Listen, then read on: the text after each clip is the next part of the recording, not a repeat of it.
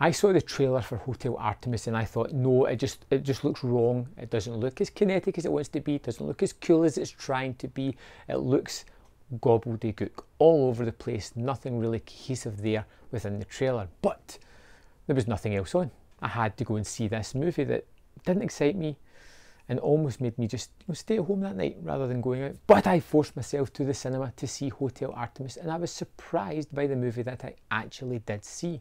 This is about a hotel hospital for criminals. They pay a fee and they become a member, and if they need uh, medical attention, short notice, they phone up this place, they go there, they get their treatment, and they're back on the street to do their nefarious dealings. Again, it's fun, it's energetic, and it's got some great actors in it as well.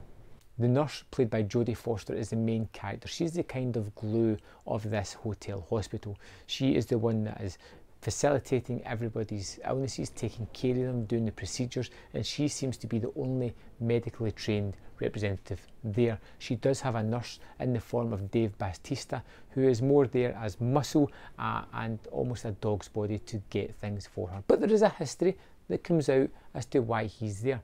We have um, two already uh, people in the hospital and then we have a criminal at the start who we see robbing a bank and his brother gets shot and he has to take him there to get treatment. But as it turns out, the person that they just robbed from has also been injured and he is heading to that building too. So they're on a time scale to try and get the brother fixed and out before this big mobster turns up and things could get rather dirty. Sofia Boutella is in this movie as well as one of the guests who is there and she is one of my favourite actresses working today in these action movies because she's equal parts super sexy and extremely dangerous. You have no doubt about it. She looks as if she can handle herself and she does in a couple of fantastic sequences throughout the movie. One particularly where she draws a line in the dirt and she just tells everybody, these slew of people that are coming at her, that nobody will cross that line. It's a fantastic action set piece and I could really feel weight behind it. She got hurt, she was injured, she was out of breath, but she still kicked ass. And I like it when they take in the fact that people are exhausted, injured, they're not superhuman creatures. And I thought that was one of the, the good aspects about it. I thought Hotel Artemis was going to be one thing, a bland, uninteresting, trying to copy its style from the old Tarantino movies that came out in the late 90s, but it doesn't. It stamps its own ground and it fits in with movies like John Wick. It is not as good action wise as those movies and it doesn't try to be. It does have kinetic and exciting action sequences when required it, but it tries to layer in a little bit of story as well to build up the characters, to give them reasons as to what they are doing and why they are doing that.